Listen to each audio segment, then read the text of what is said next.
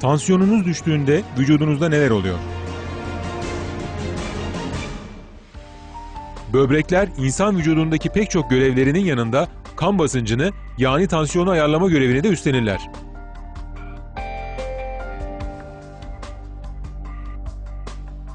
Gün içinde sık sık tansiyonum düştü ya da tansiyonum yükseldi sözleriyle karşılaşırız. Fakat tansiyonumuzu düzenleme görevinin böbreklerimize ait olduğunu çoğumuz bilmeyiz. Böbrekler insan vücudundaki pek çok görevlerinin yanında kan basıncını yani tansiyonu ayarlama görevini de üstlenirler. Kan basıncını belirleyen en önemli faktörlerden biri damarların içinde bulunan sıvı miktarıdır. Damarların içindeki sıvı ne kadar fazla olursa tansiyon da o derece yükselir ve vücuttaki tüm organlara zarar verir.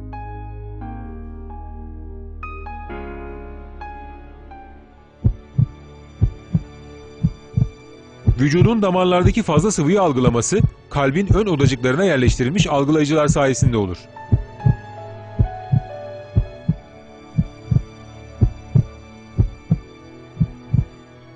Kalbin içine giren fazla miktarda sıvıyla gerilmesi sonucunda kalpteki algılayıcılar beyne durumla ilgili sinyaller gönderirler. Beyin buna karşı böbreğe giden damarları ayarlayarak kanın süzülmesini artırır.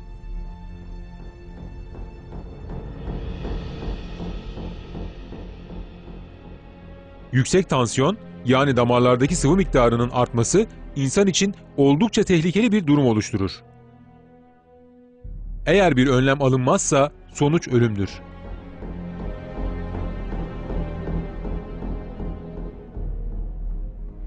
Artan kan basıncı kalbin daha fazla gerilmesine neden olur.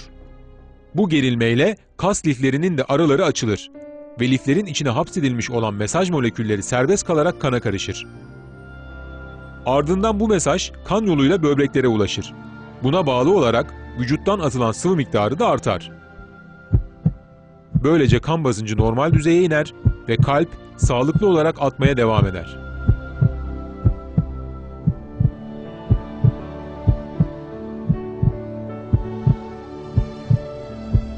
Kandaki basınç düzeyinin düzenlenmesinde böbreğin sahip olduğu rol bu kadarla da bitmez.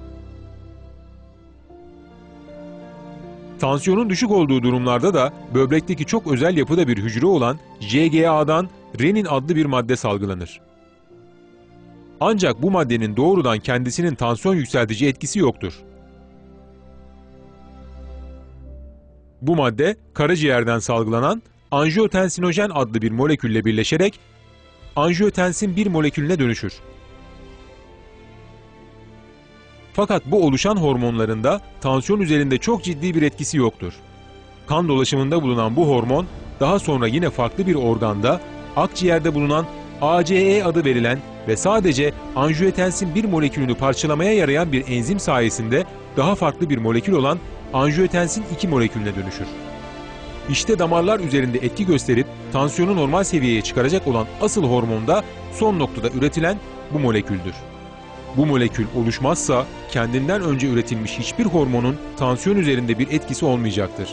Anjiyotensin 2 molekülü yine sadece kendisiyle birleşmek üzere damar yüzeyinde bulunan algılayıcılarla birleştikten sonra damarların büzülmesini ve tansiyonun yükselmesini sağlar.